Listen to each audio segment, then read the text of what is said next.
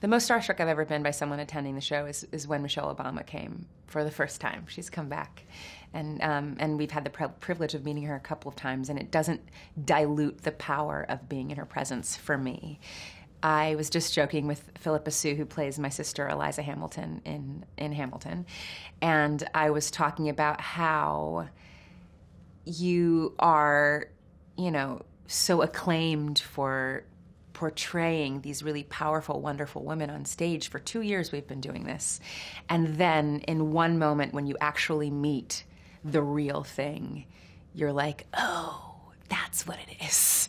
It's right there. Like, I was immediately like humbled in the presence of somebody as beautiful and as gracious and as generous and as powerful in the most relaxed and beautiful way as I was when I met Michelle Obama. And she's just um, really has the power to look every single person in the eye and be present. And I'm I'm blown away by that.